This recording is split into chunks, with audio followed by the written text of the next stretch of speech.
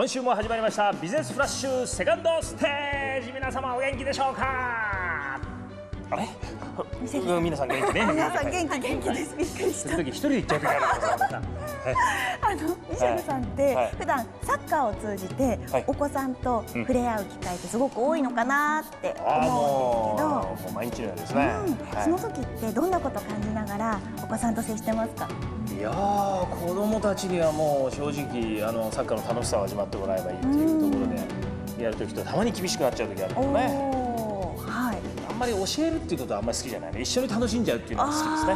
なんか大事かもしれないですね、うん。それってね一緒に楽しむ。なんかいきなり怖い質問ですけどね。えー、そんなことないですよ。まだお子様はねおられませんもんね。まだまだこれがこれじゃないので、はい、全然なんですけど、でもね楽しみです。子育てもはい。してみたいです。あそう。ということで、はい。今回最初にご紹介する企業様なんですが、太陽光事業ではい。明るく輝く子どもたちの笑顔のためにほ持続可能社会を創造するというこちらの企業様をご紹介します。よろしくです再生可能エネルギーの中でも特に太陽光発電に注目が集まっている日本。しかし太陽光発電にまつわるリスクやトラブルなどについてはあまり知られていない。そんな太陽光発電の現状を踏まえつつ安心と安全な太陽光発電を提供している企業がここにある。日本の太陽光の業界というのがまだ、えー始まったばかりということもありますしあの知見の蓄積というのがまだまだ足りてないんですね。株式会社サステナ代表取締役小田島隆一。現在日本において急速に普及しつつある太陽光発電システム。しかし政府が2012年から2015年の3年間はプレミアム期間と定められた固定価格買取制度プログラムは間もなく終了する。それにより産業用太陽光発電による売電価格は下がるという予測がされている。また再生可能エネルギー先進国であるドイツでは太陽光発電モジュールによる火災が発生し社会問題化するなど太陽光発電にまつわるリスクは日本でも高まりつつある。そんな太陽光発電システムのリスクを踏まえた上で安心かつ安全な太陽光発電を推進しているのが株式会社サステナである。サステナでは日本に2台しかないという太陽光発電パネルの状態を解析する特殊装置も購入しており万全なサポート体制で太陽光発電システムを販売している。今回代表取締役の小田島に先進国ドイツでの現状や安全な太陽光発電を行うためにはどうしたらよいか聞いた。もう小田島さんのうん考えで結構なんですけども、その太陽光事業について、まあ、今後の展望ですとかまた、まあ、お客様に進めていくにあたって気をつけているところとか何かありますか？日本の国というのはあのあの高温多湿はい。ですから、あの太陽光発電にとったら相当過酷な環境えーなんですね、はい。まあ、我々が先輩として学んできているあのドイツという国で、あのまあえーご承知のようにドイツという国は環境の先進国、そうですね。温暖化も含めてね、はい、であの太陽光発電に関して、まあ、太陽光発電を含む再生可能エネルギーの、えー比率にしても今、えー去年ではもう30%を超えてるような、えーち素晴らしい国ですよね。そうなんです。ちなみに日本はまだ数パーセント、3%程度ああそそのぐらいですか。というところなので、はい。やはり彼らの、えー今まで経験していることをですね、はい。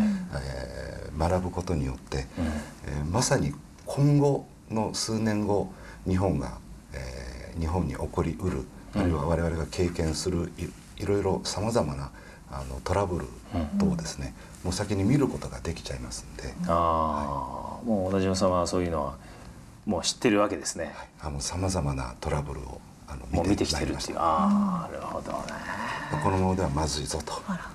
ああそれを番組を通じて言っていただけるのは初めてですね、はい。あのあそうですか。あの結構ネガティブなお話になるといころもあやいやいやいやるかもしれませんけどもこれはあの実際に太陽光発電のオーナー様であったり、えー今、えー検討されてる方に対しても、あの十分に理解をして導入していただきたいというところああそれはありがたいお言葉だねそそうですね。れは。例えばどういう危険といいますかリスクといったものがありますか、はい、これドイツにおける、はい。えー保険損害賠償となったさまざまな、まあ、これ盗難とかありますけど。盗難もあるのか。海外特に。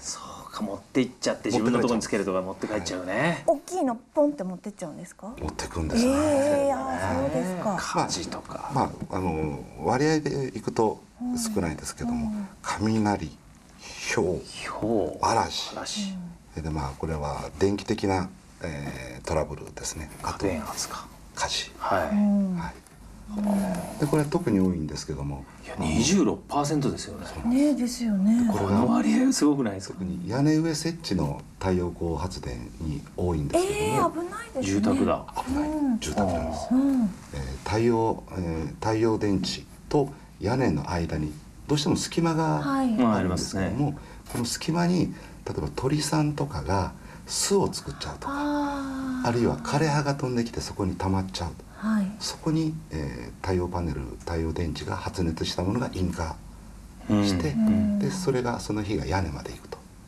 いうとても恐ろしいことが、でも住宅事例としてある。事例としてね。でも住宅のに住まれてる方々がそれよしいいことだと思ってやってやっぱり気が付かないですよねそこまでは。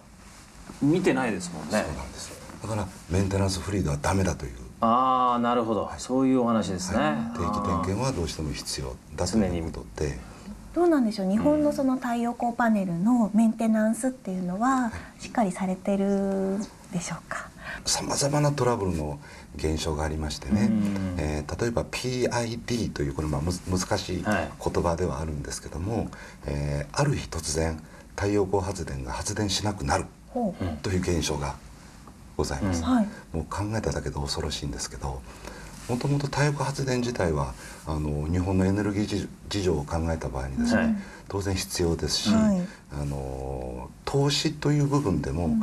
えー相当高価なものなんですね。はい。よくあの太陽光発電でメガソーラーという言葉を聞きになるかと思うんですけども、これは、えー、1000キロワットという単位なんですが、えーっと20年間で約7億円から8億円の売電収入が期待できる設備なんですね。ね大きいんですよ。はい。でこれが例えば5%、うん。えーその発電量が低下するだけで3500万から4000万円の損失になります、うん。でそれをましていきなりもうある日突然全く発電しなくなったとなると、本当に恐ろしいですよね。だからそう。いう意味でも、えー事前に、えーその太陽光発電所自分自分のところの太陽光発電所ってこういう状況なんだということを、うん。えー点検、えーをしながら把握しておくということが大事だと思います。どうしたらいいんでしょうか？いい中国を聞いてるような感じがします。はい。はい。我々にお任せください。そういうことですよね、はい。い、やいやいやだからそこまで慎重に考えて、はい、サステナさんではうん。どういったメンテナンスですとか、はい、されてるんでしょうか？はい、我々の最大の、えーまあ、売りといいますか、うんはい。あのレントゲン撮影ができるはい。レントゲン。撮影ね。EL 検査装置というものを、自社で持っておりまして、はい。これは今、えー日本で、えーたった2台しかないんですが、それは海外が作られてるものですか？ドイツから輸入してまいりました、そうはい。ね、彼らはやはり大先輩でございます。そうですよね。日本に2台しかないその機械、うん。これがトレーラー方式になってまして、えー実は現場まで、えーそれを持って行って、はい。で現場で、えーそういうしっかりとした IV カーブであったり、E- EL レントゲンですね、はい。えーあるいはその、えーサーモグラフィーを撮影することができる機械はなんですね。というのが見た目ではもう全くわからないんです。ここ私の後ろに、あねはい。もうちらって意味を見ちゃいましたけどはいはい、太陽電池ございます。これ、うん。えー全くわからないですよね。あのあの綺麗な太陽,、麗ですよね。太陽パネルですね。あのきっとあのよく発電するんだろうなと。はい。思うお思いだと思うんですけど、はい。これの先ほどのレントゲンを取りますと、これこちらをレントゲン撮ったもの。映ってる部分とこうそうじゃないはい。部分ありこれが先ほどあの難しい言葉で言いました PID という、はい。ある日突然発電しな発電しなくなっちゃううこの黒い部分がもう発電してないんです。こへえ。こんなにあるんですか？へえ。ういう現象が分かんないですもんね。わかんないです。全然わからないし。人の目で見ると、はい。そのレントゲンの方を見ても、えー機嫌悪くなっちゃったのかなとかなんかまた戻る時もあるなんてそんなことじゃないですね一回発電しなくなったら止まっちゃう。終わりです。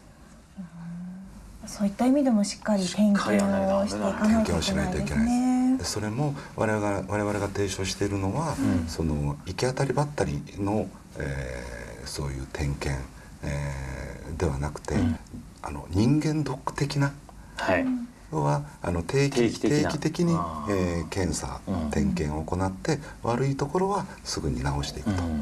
ではサステナさんのですね今後の目標を教えてください。目標ですか、はい。あの太陽光発電の一生に関わっていきたい、一緒に。私の一生ではなくて太陽光発電の一生。これは、うん。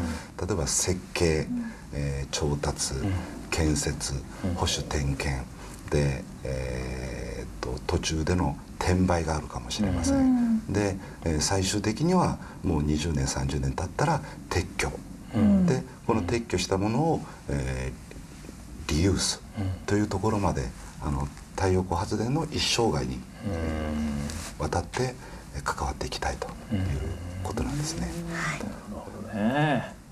最後になりますが、小田島さんの格言をお願いしま格言ですか。す。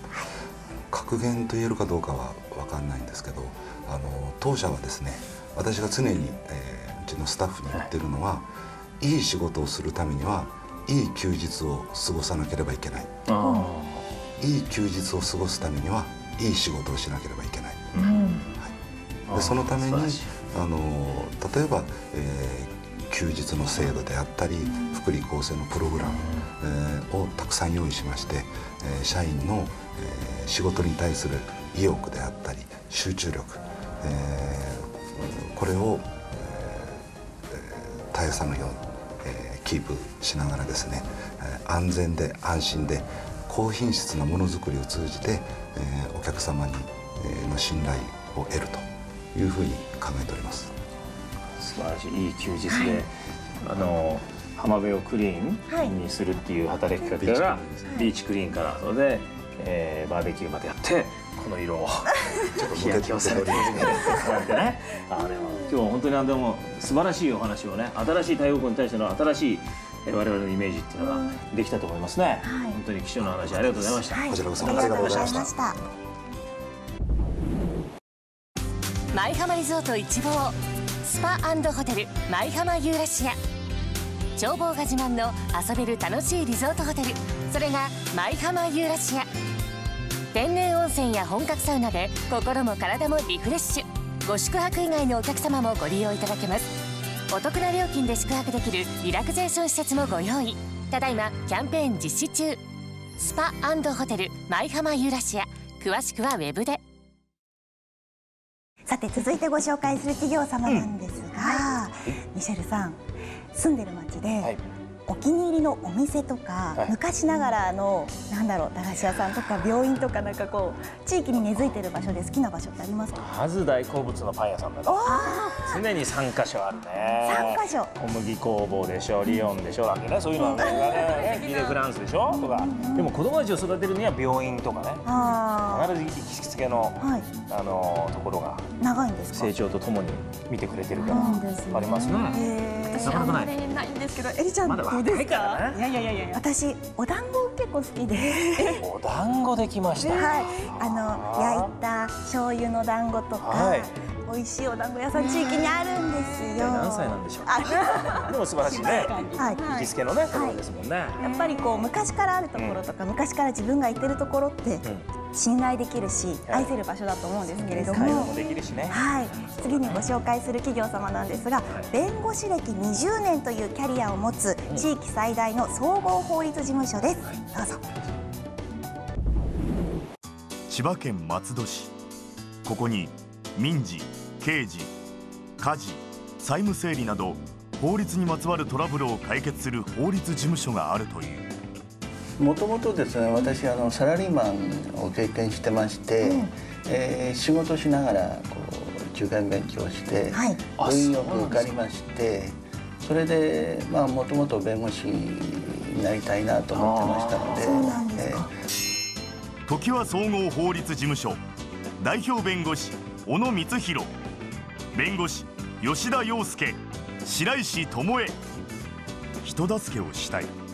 そんな熱い思いから司法試験を目指しサラリーマンから司法試験に合格し弁護士になった福島県会津若松市出身の代表弁護士の小野。そんな小野が千葉県松戸市に常盤総合法律事務所を設立し事務所に掲げているポリシーは所属する弁護士一人一人が自立した経営者であるということと担当する事件内容によっては所属する複数の弁護士が協力して事件解決を行うということである。現在常盤総合法律事務所では11人の弁護士が在籍しており地域密着型の法律相談を行っている。今回代表弁護士の小野と常盤総合法律事務所に所属する弁護士の吉田と白石も参加し身近な法律相談などについて話を聞いたまず時は総合法律事務所さんなんですけども開業いつ頃なんでしょうか？えっ、ー、と平成7年です。はい。はい。となると今で20年。もう20年、21年目になりますね。はい。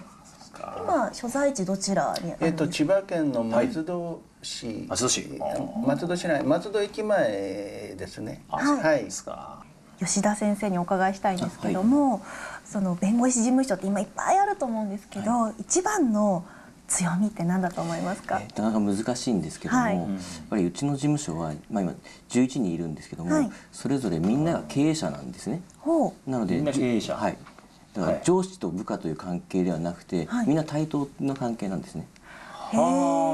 で事件についてはそれぞれの弁護士がそれぞれの責任で責任を持,、まあ、責任を持ってやっていくという形をとっていて、まあ、そこで最後まで責任を持ってやるっていう土壌があるというのと、あとそれとあのその一つの事件について、まあ、守秘義務に反しない範囲で他の弁護士に、まあ、意見を求めたりしながらですね、うん、そういう意味で11人の知識をですね使ってですね、まあ、その一つの事件についていろんな視点から分析検討を加えて、まあ、最善の結論を守っていくことができるとかそういったところが、まあ、うちの事務所の強みなんじゃないかなと思ってます。本来はもう1対1でやるとかそういうことなんだろうけどもそれプラス周りの人の意見も弁護士さん側がその横のつながりで聞いてよりいい結論を出していただけるという。そうですね、はい、そんなに人数が多いところってあるんですか？11名、はい、えっと、今あの地域の中では、はい、あの松戸支部という裁判所の松戸支部というところがあるんですけども、はい、その中では今最大の事務所になっています。事務所内雰囲気としてはどうですか？うん、本当になんか自由闊達なので、うん、まあ 所長に対しても、まあ、言うべきことは言えるような雰囲気が当然活動しが良くてですね、いいすねまあ後ろにいる白石ももう一番の新人ですけど、まあ臆せずですね話ができるとそういった雰囲気になってます。新人も真っ白なね。はい素晴らしい服装で今日はね、はい、服装で来ていただいて思いますけどね。そういう雰囲気やっぱりありますか？はいあのもうパートナーとして入っているのであの一番下っ端でも好きなことを言える環境にありますね。はい、そういう事務所は理想なわけですか？そうですね、はい、あのサラリーマン時代こう縦の世界だったんで、はい。はいえー、私自身やっぱり、えー、横のつながりを重視して、えー、基本的にはもう自由っていう形で、うん、ただあのけじめっていうのは当然、あの持ってもらわなくちゃいけないんで、うん、あの目上の人に対する挨拶とかですね、うん、朝夕の挨拶とか当然それはあの注意する時もありますけどもそれ以外は自由っていうにあの、えー、やってもらってます。一番の新人というお話ありましたけども、はい、仕事の依頼っていうのはどういう形で受けられるんですか、はい。あの依頼者もともとの依頼者の方からのご紹介とい。うのが多いですね、はい、あのその依頼者がやっぱり満足していただいているっていう証拠だとは思うんですけれども、うん、他にはあとは裁判所から直接あの依頼が来たりですとかあとは知り合いの建築士さんやまあ、司法書士さんですとかそういった修行の関連の方たちからご紹介いただいたりっていうのも多いですね。と居酒屋で隣になった方から急にあの先生お願いしますってことでい。らっしゃることもあるみたいです。ね。なんか地域密着っていうところのね、まさにい。いところというか。すぐ相談ができる 先生がまさにそういうそういう会社を目指されてるっていう堀事務所。そうですね。そうですよね、どうしても弁護士っていうのは敷居が高いと思われてますけども、えー、職業が違うだけで、仕事はみんな同じなんですよね。えー、だからそのまあ昔の弁護士さんはやっぱり赤絨毯引いて、えー、俺は弁護士だっていうような形のタイプの人も、えーえー、いたと思うんですけども、今はもうそういう時代じゃありませんので、えー、市民の目線に立ってえー、相談を受けるっていうのが一番大事なのかなっていうふうに思います。こう実際に小野先生が、はい、あのお話しされた方の中で話せる範囲で結構なんですけれども、はい、どういったお声が寄せられてたりですとか、事例がありますか、まあ、やっぱり記憶に残る事件というのはやっぱり刑事事件とかですね、やはりあの殺人事件で、えー無罪を主張してて、はい、えー、上長証拠的には真っ黒なんですけども、うん、えー、自分はやってないっていう形で訴えられて、うん、まあ弁護人として当然、えー、被告人を信頼してやらなくちゃいけないっていう意味で。で最後まで無罪主張をして結果的には有罪になったんですけども、うん、あの後で手紙が来て、はい、えー、私だけがあの自分のことを信頼してくれたっていうような形で、えー、とつととした手紙をですね、えー、書いてよこした時はすごくあのそういう事件が記憶に残りますね。はい、結構な時間かかってそうですね。裁判されるわけですもんね、はい、何度もね足運ばれても書いてね。本当頭下がる思いがするんだけども。どうですか？吉田さんはどんなふうにあの感じられてますか？最近のご相談の案件とか。そうですね、はい、最近やはりあの、まあ、その法テラスさんとかですね。あの、うん、国が作っている、まあ、その訴訟のお金をね援助してくれる、はい、弁護士を援助してくれるような援助というか建て替えしてくれるような制度ができている関係もあって、はい、離婚とか家事ですね。家事で離婚の、まあ、女性側というんですかね、まあ、お金あまり持ってない方が、そのちゃんと自分の権利を守れるように今まで泣き寝入りしたかもしれない弁護士費を払えなくて泣き寝入りしてたかもしれないような人が、はいはい、まあ、そういう制度を利用することによって何制度？法テラスというのがあるんですけども、まああのまあ、一定のお金がない人のために、はい、あのそういう国が一定の建て替え払いをしてくれるという。皆さんは法テラスとは何かご存知だろうか？法テラスとは政府による独立行政法人の日本司法支援センターの愛称のことを言い法で社会を明るく照らす日当たりのいいテラスのように皆様が安心できる場所にするという思いが込められている。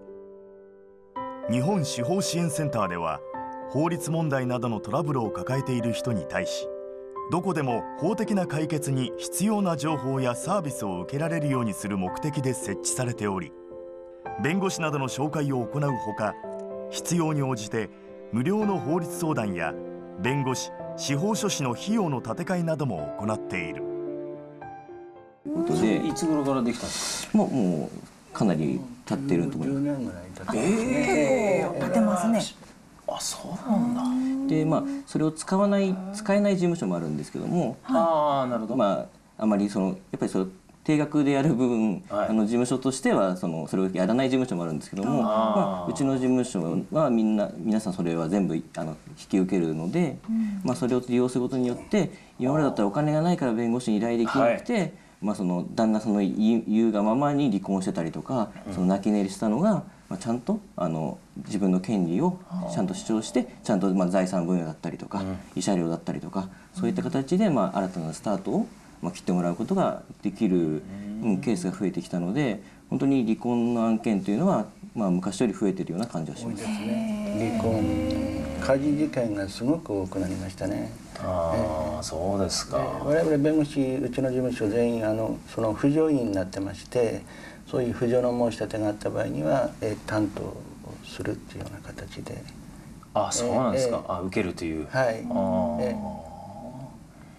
ー、まあでも大変なまあ役回りっていうのはおかしいけども、はい、その。人のね様の相談だからきついですよね体も頭も。そうですね。あのストレスがたまりますけども、だから若い人たちにはとにかく趣味を持ちなさいってよく言います。ガスのガス抜きしないと、やはりどうしても食尿病というかうつ病とかですね。そういうのになりがちなんでできるだけ気分転換をする意味でも、えー、趣味を多く持って何でもいいから趣味を持ってえっていうことはよく言いますね。えー、平井さんはまだね、はい、趣味はね。あ、ゴルフやります。ゴルフやる。らららら、素晴らしい、ね。はい。バレーボールもやりますし、あのマラソンもやってますし、はい、一人カラオケもやってます。アクティブですね。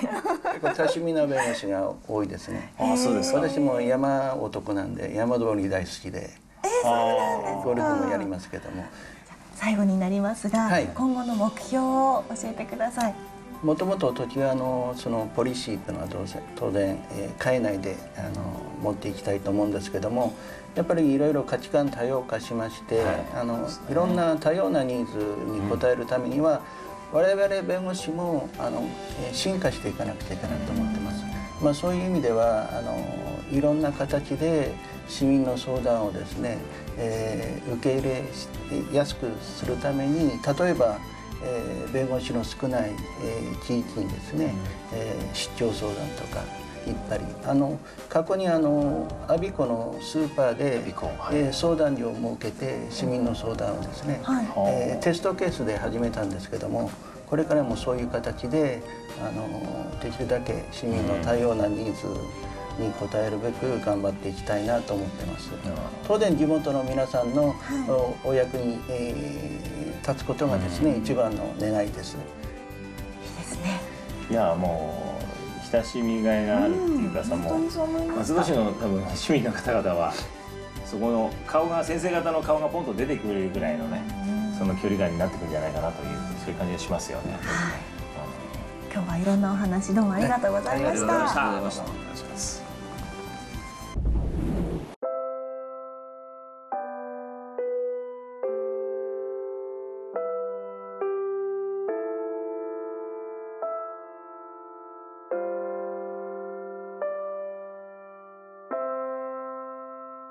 ビジネスブックコレクション。透明感があり潤った肌。余計な脂肪のついていない女性らしい体。艶やかな髪。どうしたら手に入るのでしょうか。今週のビジネスブックコレクションおすすめの本はこちら。食べるだけで若く綺麗になれる方法。この本を書いたのはバランス料理研究家の小針エリカさん。日本フードバランス協会代表としても活躍している小針さんが肉も野菜もご飯も無理なく食べて肌髪スタイルを美しく変えるといった食事法など実体験を交えて書き上げた一冊です。それでは今週のビジネスブックコレクションはここまで。また来週。